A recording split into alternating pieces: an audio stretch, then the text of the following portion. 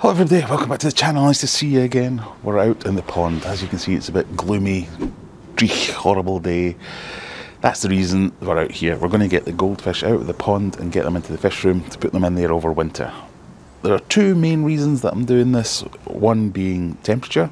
So although it has been unseasonably warm recently, the temperature has now dropped. So it's been Baltic the last couple of nights. It's time to get them out here for that reason alone. But also the days are shorter and they're darker, they're gloomier like this. And this pond runs on solar power. got two filters in here, one which is run off a small pump which circulates through some filter media when it's sunny and the other one which runs off a power bank which charges up during the day when it's sunny. So if it's not sunny enough or bright enough or long enough, they just don't cope. And we've now reached that point where they're stopped coping.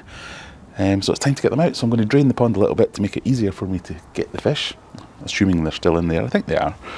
Um, fill up a bucket and get them into the fish room.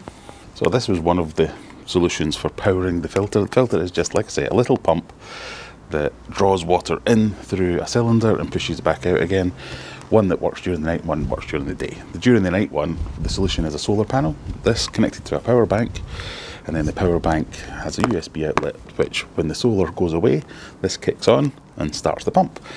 And even though it is really gloomy and dreich, it's still at 26%, so I think that's pretty good.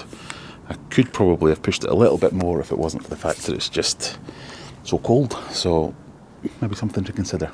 While we wait for this pond to drain down, that just gives me some time to tell you about this video's sponsor.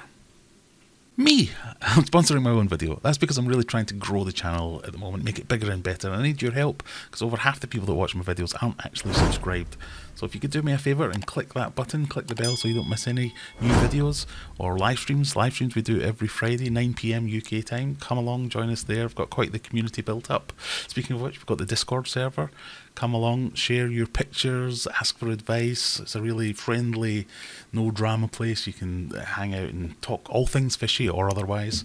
I've also got my shop, my online shop, aquariumadventures.co.uk if you want to buy some merch like these excellent hoodies or polos, t shirts, hats, whatever it might be, or fish food. I've got a huge range of fish food there, all stuff that I use myself that I can sell on. Um, and if you join the channel, uh, Hero members actually get a discount code off anything that you buy on the website. So that, that's worth knowing. If you do want to join the channel, uh, let us know in Discord that you're a Hero member and we'll get you your discount code. Other than that, thank you very much for watching and we'll see you in the next one. Bye. Here you can see the filter, one of the filters. This is the daytime filter. It's basically a little tub filled with media. It draws water in through the top down to the bottom of the pump and comes back out through the sprinkler. The other one's over in this corner. This is the nighttime one. Similar sort of thing, it's just a piece of pipe with sponge at the ends, media in the middle, and a pump right in the middle. It draws water in through the sides and back out through the spout. It's very simple but very effective. You might have noticed my microphone has died at this point, so I'm narrating here. My, my plan of tack was to come at them with two nets. I could use one to chase the fish around into the other net and catch them that way. The pond is a little bit murky. It's not quite as easy as it might be in a fish tank to catch them because it's spotting them is half the battle, but draining them did make a difference. Uh, and I managed to get five of the first six fish out fairly easily. Um, there's the first one coming out now. Thing that really surprised me, and I think I was saying this to the camera at the time, was how bright they were. They were so. I mean, I, I know they're just plain old goldfish, but they were really gold, really bright. Um, which surprised me because I thought in the murkier waters they might not be quite as bright as they turned out to be. So I'll fast forward here a bit, but basically I spent a good half an hour chasing the last fish, but we got them all out in the end. Uh, not too much trouble, and then get them into the bucket and down to the fish room. My plan is to put them in this tank here. So this was the tank the gold Saum was in, but I've put him in the other tank over there with the Oscar to see how they get on. Um, it is cold, but it's nowhere near as cold as the tank, the pond that they come from. So there's no heater in here, but the, the room is heated, so it's a little bit warmer. So I've left these in the bucket here for a couple of hours with the air on running, um, just to let it get a little bit warmer, a little bit more steadily. Um, so they should be ready to go in shortly. I've brought the plants from the pond as well because I don't think they'll survive the winter. Um, but yeah, got all six fish. Finally found the, the, last one. Let's get them in. and see how they look. So the pond plants are water lettuce. They've done pretty well considering the weather recently, but I didn't think they'd make it through the winter, so I thought I'd get them in there too. Goldfish are looking great, so bright. Uh, I could of course, just put a cover on the pond and left them out there, but I had the tanks. I just kind of wanted to see them for a while because you don't you don't really get a chance to observe them.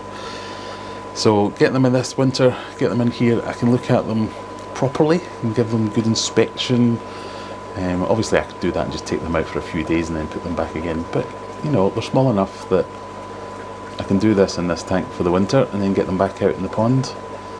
In other news, as I said, I added the Oscar to this tank last week. Um, I also added the Gold Saum. They didn't get on too well together, so I'll put this divider in to keep them apart and let them get used to each other to see if that makes it work. But they're both just currently sulking, one on that side, one on that side. The biggest sulks I've ever seen. Um, but the tank above, really happy with how this is coming along. I've added in a load of extra um, floating plants, which kind of diffuses the light. Uh, I really like that look. Corydoras are doing great. Um, they're getting on famously with the angelfish, the angelfish, the rainbow fish. They're not bothering them at all. Uh, both out happily feeding together. I've got this curious foam that I've noticed has developed over the past day or two. I don't know what's going on there, so we'll do a big water change to see if that makes any difference. But if you have any ideas what that could be, let me know. Discus doing fine. Ordered a new tank.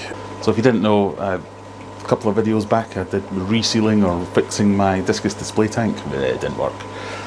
Uh, and I've now tried too many times, so we're giving up on that. And I've just bought a brand new tank, so that should be coming in the next few weeks.